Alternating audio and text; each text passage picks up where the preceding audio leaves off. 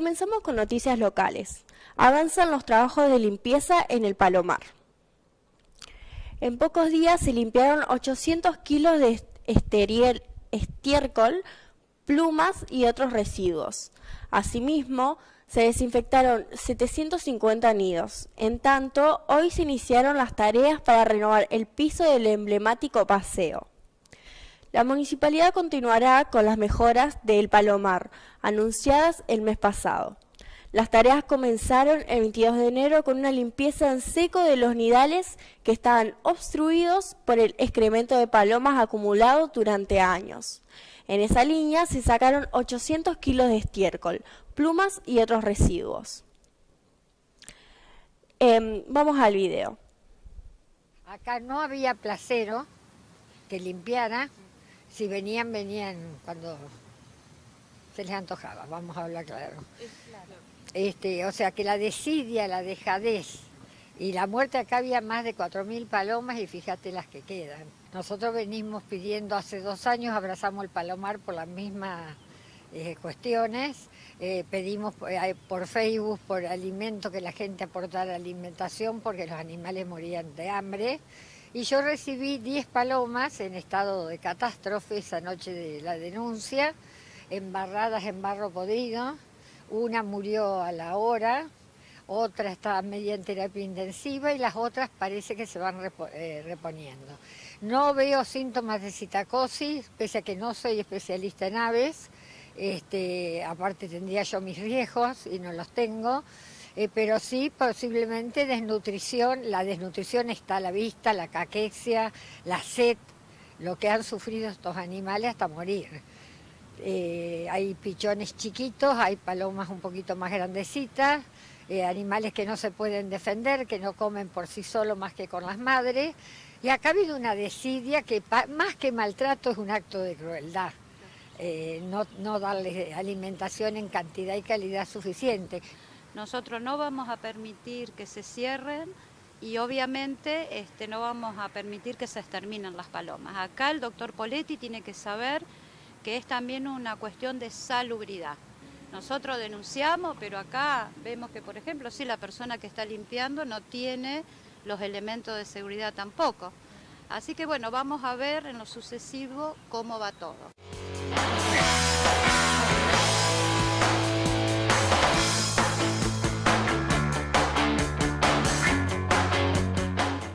Malestar y grandes filas en la estación Belgrano por los beneficios de la SUBE.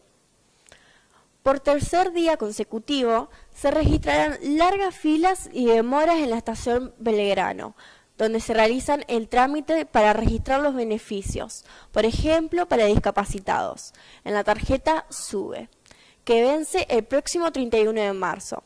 Según el testimonio de presentes al móvil LT10, algunos llegaron a las 5 de la mañana. Vine a las 5 de la mañana, vine ayer a hacer los trámites, pero había mucha gente y me fui. Ahora a las 8, algunos tienen números y otros no. Ayer estaba lleno hasta afuera. Además, otra persona contó que el problema es que la gente es discapacitada y ayer cortaron a las 10 de la mañana porque no había gente para la atención. Mi marido vino, hizo dos horas de cola y le dieron el número 111. Hoy vine yo porque él no puede estar parado tanto tiempo. Nadie salió a ordenar la fila. Falta empatía con los discapacitados, contó otra consultora, otra consultada, perdón. En otras noticias, paritarias. El gobierno provincial ofreció a los estatales un aumento del 20%. Todavía no tenemos la cifra que nosotros aspiramos, por, eso no, tenemos una propuesta. el gobierno eh, provincial mantuvo este lunes por la mañana una nueva reunión paritaria con los gremios estatales. La nueva propuesta ofrece un aumento del 20% para las categorías menores y un 17% para el resto. El mismo es remunerativo, bonificable y trasladable al sector pasivo. Tras el encuentro, Marcelo Delfort, secretario adjunto de ATE, señaló que la oferta es considerable. En diálogo con la prensa amplió. Veníamos planteando que las propuestas que se dieron a conocer antes de nuestras paritarias no iban a ser resueltas en forma favorable. Ambas partes coincidimos en darnos un poco más de tiempo para elaborar una propuesta que ahora sí pueda ser puesta a consideración. Vamos a la nota. Todavía no tenemos la cifra que nosotros aspiramos, por, eso no, tenemos una propuesta, la estamos eh, discutiendo con el gobierno, el gobierno eh, tiene una propuesta y, bueno, y obviamente el, ofrecimiento de seguir negociando en, en, el... es complicado, ¿Están cerca, lejos? Estamos a mitad de camino. Nosotros aspiramos, como le, dije, le decíamos la vez anterior, de, tener una propuesta que se pueda trasladar a nuestros compañeros. Está todo en discusión. Fundamentalmente el porcentaje que tiene que ver con el impacto que va a tener en el bolsillo de los trabajadores y trabajadoras el, porcentaje o el aumento propuesto. Presentamos todos los elementos necesarios, con números incluso muy responsables de ambos sindicatos, lo que tiene que ver con el impacto general de de una, de una propuesta salarial, porque no solo pensamos en nuestro sector, que son 45.000 trabajadores públicos, hay 170.000, entonces nosotros responsablemente tenemos que ver si el impacto de nuestro aumento salarial, de alguna manera que estamos discutiendo, tiene también una relación con, el, con lo general. Nosotros no planteamos cifras no remunerativas en, en el esquema que propusimos. En concreto fue un incremento eh, para todos los trabajadores del escalafón de Administración Central y se extiende también para el personal del escalafón de su escalafón de API y, el servicio de catastro, que integra un incremento remunerativo en su totalidad, eh, con porcentajes que priorizan a, a, las tres categorías más abajo de las nueve que integran el escalafón. Las tres categorías inferiores van a tener un incremento del 20% sobre la base del mes de diciembre mientras que las otras seis categorías van a tener un incremento del 17% sobre la base de diciembre. Esto hace que el incremento, cuando se miren los recibos que se cobraron con el mes de diciembre, los incrementos acumulados van a estar en el orden del 56% para los trabajadores de las categorías 1 a 3 y del 53,4% los trabajadores de la categoría 4 eh, a 9. Eh, esto es un esfuerzo muy importante para dar una idea el trabajador, ningún trabajador va a percibir un incremento menor a 50 mil pesos respecto al salario de febrero. Y es un esfuerzo, como decía el ministro de Gobierno, porque las necesidades son múltiples. Estamos construyendo, construimos esta oferta en un diálogo. Esto es otra cuestión que queremos destacar, la manera de construir y de superar las dificultades que se tienen en ambas partes a través del diálogo e incluyendo eh, asignar todo el tiempo que haga falta para construir una salida a, a los a las dificultades que tienen los trabajadores, por un lado, que la inflación lamentablemente afecta a sus salarios y al mismo tiempo el Estado sus posibilidades que se ven comprimidas por necesidades infinitas en un contexto macroeconómico con una caída del 5% del PBI. El máximo esfuerzo que esto se puede hacer lo hemos construido porque hemos estirado todas las posibilidades, inclusive en la posibilidad de construir algo que llegue sobre todo a los trabajadores que tienen menores, eh, menores salarios. Además, eh, esta también tiene que ver con eh, el, traslado eh, en forma inmediata no solamente a los jubilados, sino que también a los trabajadores de la Fuerza de Seguridad, que son trabajadores que han estado eh, a disposición permanentemente en la situación que atraviesa la provincia y que al mismo tiempo van a tener, esto es un compromiso que nos ha marcado el gobernador Maximiliano Puyaro, que los trabajadores de seguridad tengan siempre el mejor beneficio que pueda otorgar la provincia.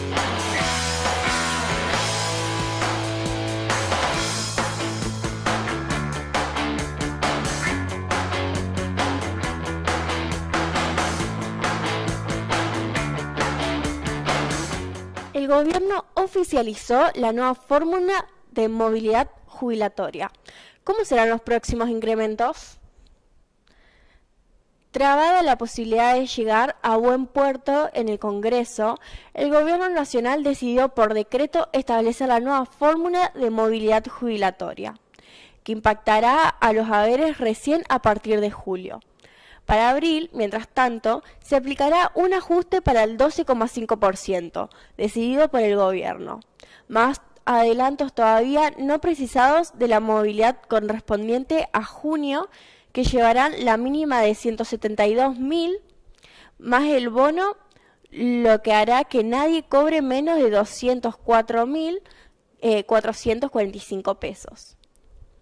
Tal como había adelantado de la Casa Rosada, la actualización estará basada en el índice de precios al consumidor, pero la publicación sorprendió al contradecir un comunicado oficial del viernes último. Al final, el ajuste por inflación llegará recién en el mes de julio. Mientras tanto, habrá un esquema de transición. Vamos a la nota. A partir de julio, las jubilaciones y pensiones se van a movilizar con el índice de precio del consumidor. No a partir de abril como se pensaba, sino que el decreto empieza vigencia a partir de julio. Pero ¿qué pasa de acá hasta julio? En abril va a haber un aumento del 12,5% de una recomposición para lo atrasado, eh, pero ya además van a empezar a aplicar la movilidad de la inflación a cuenta del aumento que en junio tienen que dar con la ley vigente. Es un poco complicado de explicar, pero para pasarlo en limpio, te digo que en abril la mínima va a ser de 204 mil pesos. Y eso no se va a modificar, porque el bono, ¿sí? Eh, digamos, en el bono queda incluido el aumento del 12,5 para todos los jubilados y del 13,2 que es la inflación. Con lo cual, los de la mínima van a quedar en 204 mil pesos, porque no se calcula sobre el bono en los porcentajes.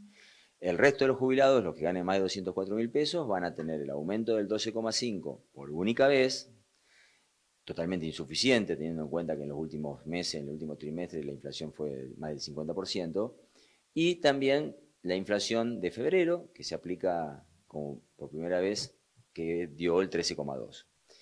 Después, en mayo va a haber otra recomposición por el índice de inflación y en junio también otra recomposición por índice de inflación, todo a cuenta del aumento trimestral que tienen que dar en junio por las remuneraciones y la recaudación, y a partir de julio sí se empalma solo con movilidad por inflación. La idea del gobierno es que en el segundo semestre la inflación baje, baje a un dígito, eh, las remuneraciones se empiecen a recomponer, con lo cual, como ha pasado siempre, la modificación que van a hacer de la ley no va a terminar beneficiando, sino va a terminar perjudicando a los jubilados, porque según pienso yo, para diciembre la ley vigente les va a terminar dando, si, si siguiera vigente, le terminará dando un aumento superior a lo que en definitiva van a, cobrar por inflación. Si el plan del gobierno sale bien, esperemos que salga bien, la inflación baje y las remuneraciones aumenten, pero en definitiva, si el aumento por inflación a los jubilados debía haber sido hace un año, no ahora. O recomponer los haberes, por lo menos un 50, un 60%, que es lo que han perdido en los últimos meses. En los últimos cuatro años la pérdida es superior.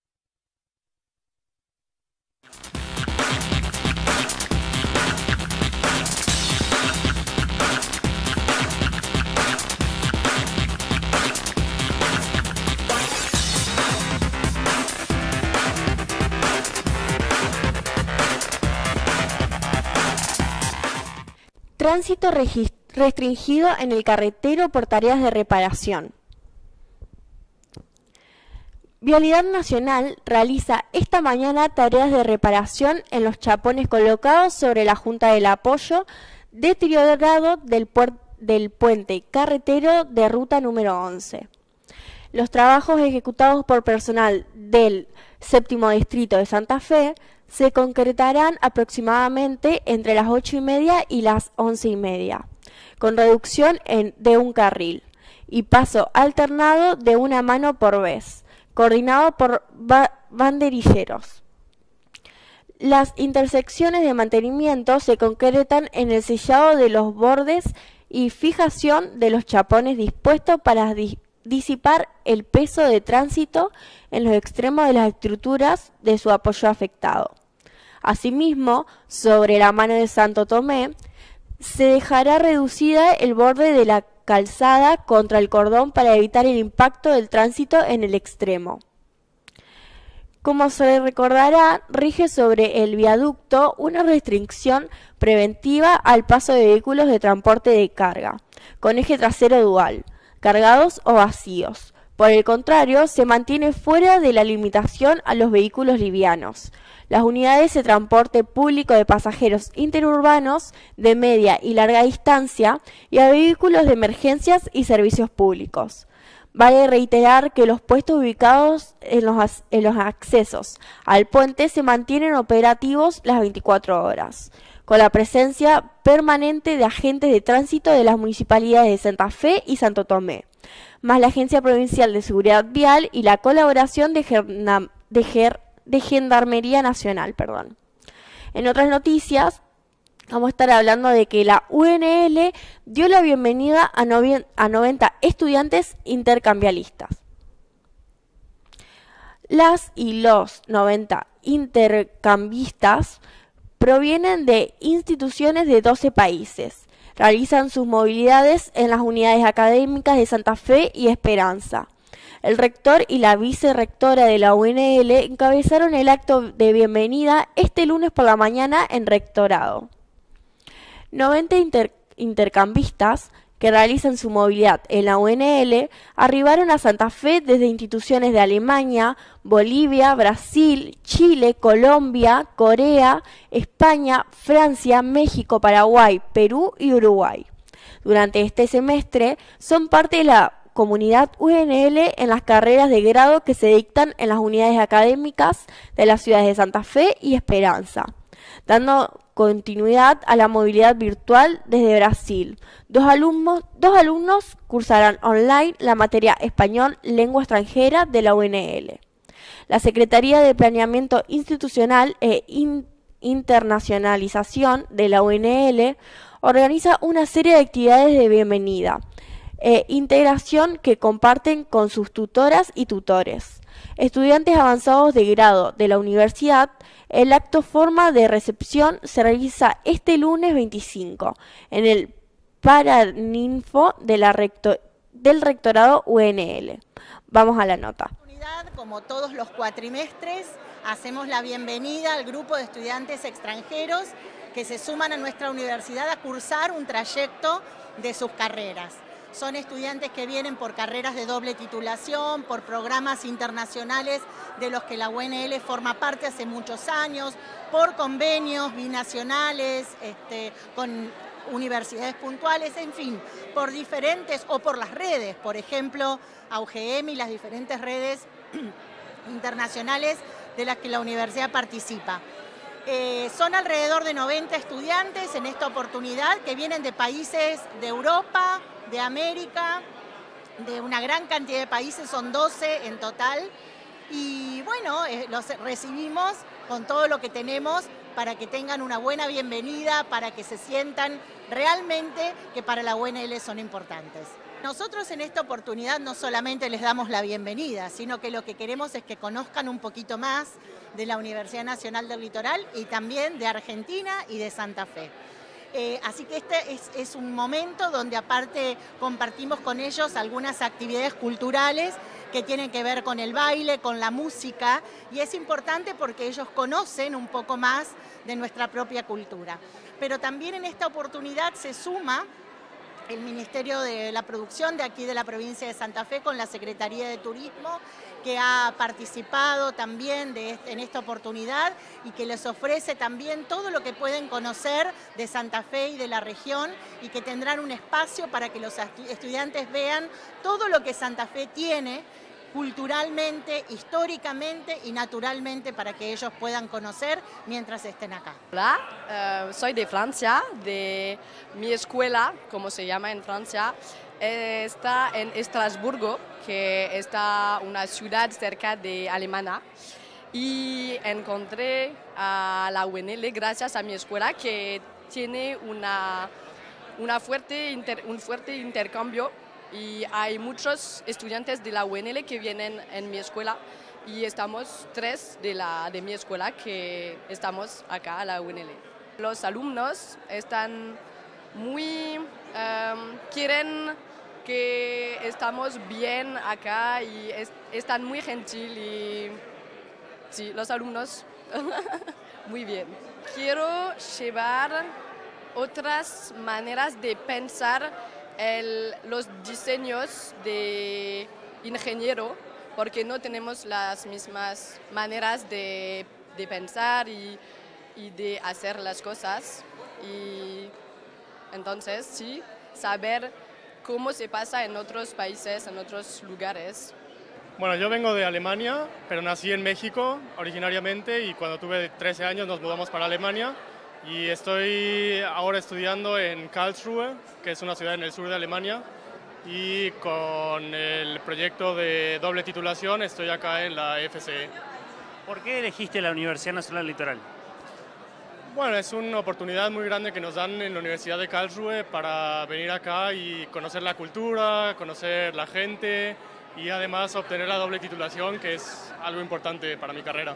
Me encontré con gente muy amable, comida muy, muy, muy buena, pero también un choque cultural enorme. las calles son un desastre, es completamente diferente a como es en Europa, pero me gusta bastante.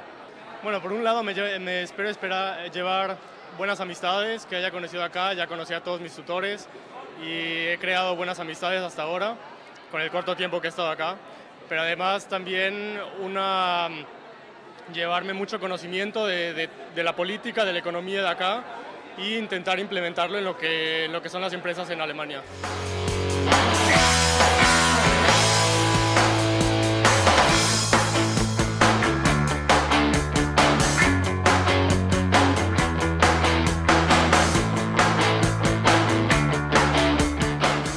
Recapturan a uno de los evadidos de la comisaría 17.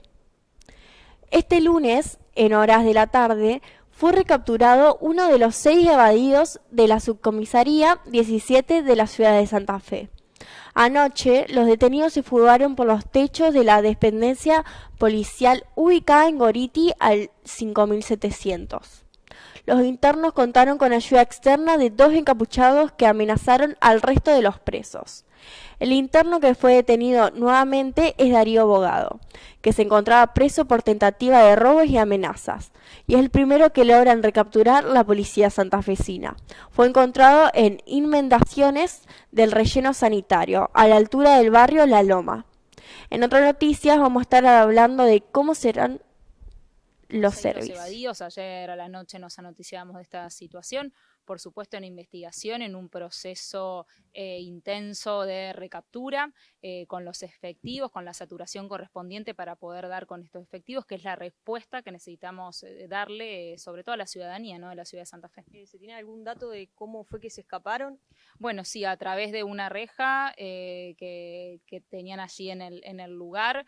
y bueno, entendemos que es fundamental, como te decía yo, todo el proceso de recaptura para poder dar una respuesta. Es la respuesta también que tenemos eh, con, las víctimas, con aquellos que hayan sido víctimas de estas personas que estaban detenidas en este lugar. E insisto, las comisarías no son el lugar para la detención. El ministro de Justicia y Seguridad, y recién lo decía en otras notas, ¿no? No son el lugar para la detención. El servicio penitenciario está diseñado, pensado y tiene, todo el sistema de vigilancia para las detenciones. Por tanto, nosotros ni bien iniciamos la gestión, que nos encontramos con el doble de los detenidos en comisaría que había dejado nuestro gobernador, ex ministro de Seguridad en la ciudad de Santa Fe. Empezamos a hacer todo un proceso de vaciamiento y de traslado de comisarías a las cárceles, tanto de Las Flores como de, eh, como de Coronda. Ratificamos, no es información oficial que hayan ingresado personas armadas. Entonces, esto es importante destacarlo porque siempre hay que ser muy cuidadosos con la información que se traslada y el mensaje oficial es el mensaje que traslada el Ministerio de Justicia y Seguridad.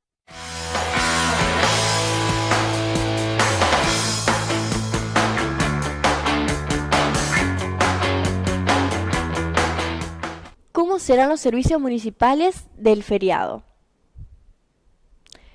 Con motivo de la Semana Santa, los días jueves 28 y viernes 29 de marzo, y debido a los feriados puente del lunes 1 de abril y martes 2, en, en conmemoración por el Día del Veterano y de los Caídos en las Guerras Malvinas. La municipalidad informa los horarios de los servicios de recolección de residuos en el cementerio y transporte público, entre otros. En cuanto a la recolección de residuos, las empresas estarán el servicio con normalidad en toda la ciudad y durante las jornadas del día jueves y viernes, el sábado 30 no habrá recolección, retomándose al día siguiente en toda la ciudad en sus horarios y modalidades habituales. Por lo tanto, el lunes primero y martes segundo de abril también será normal. En tanto, los ecopuntos permanecerán abiertos los días sábado 30 y domingo 31, en horario habitual, mientras que el lunes primero y martes segundo de abril estarán cerrados, retomando la atención el miércoles 3. En otras noticias, lanzan una nueva edición de El agua en imagen, en imágenes. La Facultad de Ingeniería y Ciencias Hídricas de la UNL, junto al diario El Litoral, organizan el concurso de fotografía. La fecha de cierre del concurso es el 6 de mayo y la inscripción se realiza online a través de la página de facultad.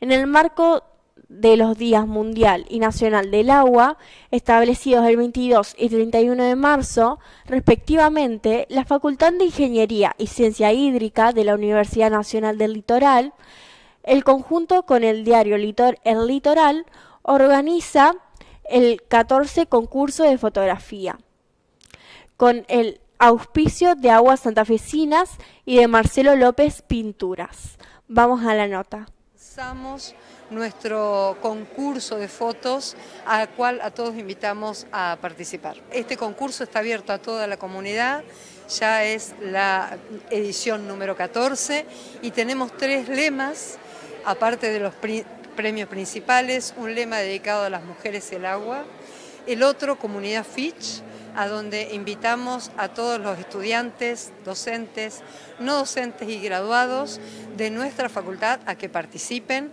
Y una tercera mención que se llama La Fitch va a la escuela, donde invitamos a todas las escuelas, a todas las unidades educativas a participar con sus obras, en este caso con la fotografía, que la fotografía también es un medio de comunicación, comunicamos un mensaje con la fotografía y bueno, invitamos a las escuelas que con sus estudiantes y sus profesores sean partícipes de este, de este, este concurso y posteriormente de la muestra.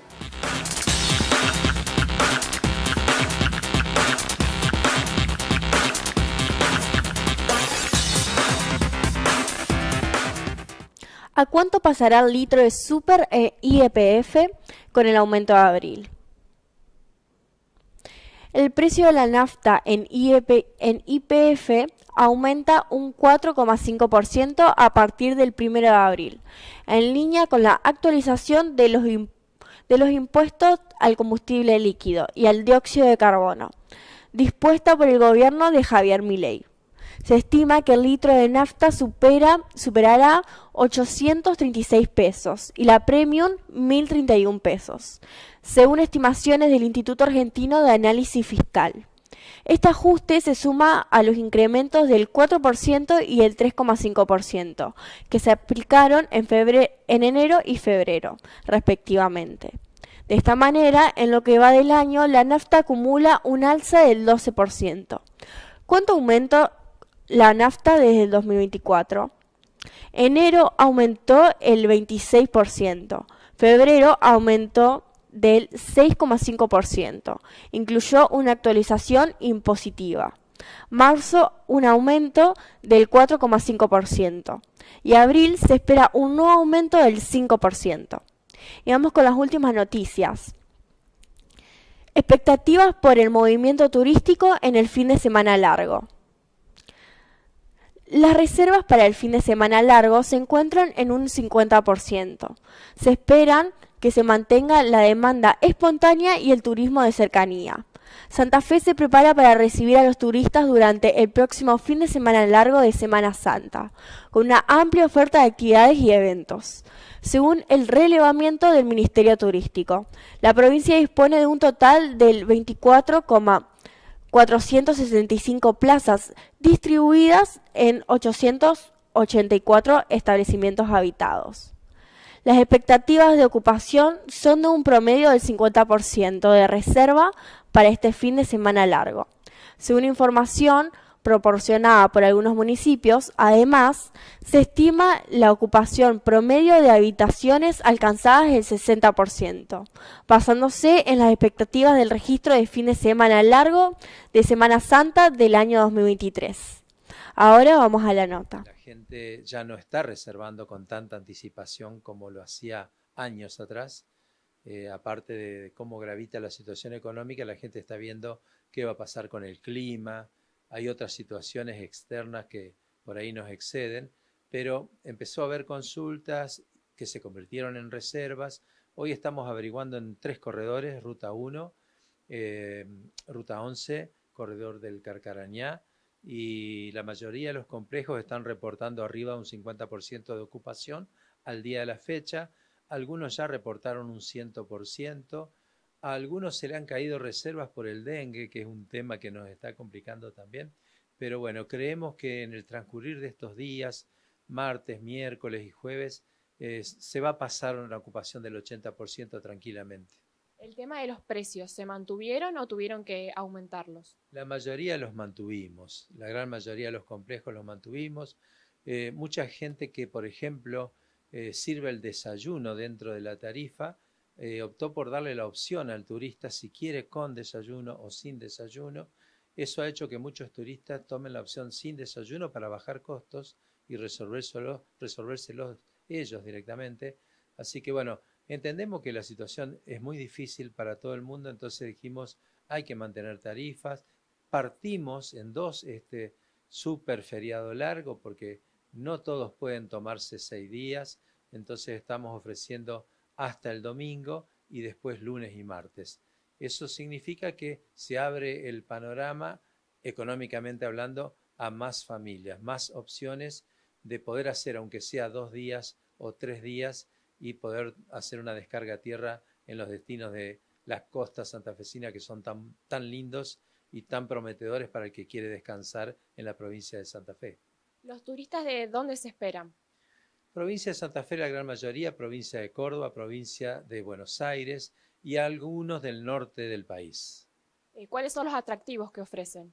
Generalmente eh, la gente se encuentra en complejos rodeados de mucha naturaleza, mucha paz, con una idiosincrasia de pueblo. Y la gente busca eso, básicamente. Y hoy los pueblos, que están la mayoría en cercanía al río, tienen esa gran fortaleza dentro de la provincia de Santa Fe. Grandes recursos ictícolas dentro de esos cursos de ríos que son magníficos y han aparecido muchos emprendedores que no solo se dedican a la pesca deportiva, hoy hay muchos especialistas que hacen avistaje de flora y fauna, hacen kayakismo, eh, caminatas este, a la vera de los ríos o recorriendo capillas históricas. Son muchas las ofertas y en este feriado especial de Semana Santa la mayoría de las plazas de los pueblos van a estar congregando artesanos, artistas, y por supuesto eh, todo lo que significa el encanto de las comunidades costeras que cada una tiene una particularidad y lo hace una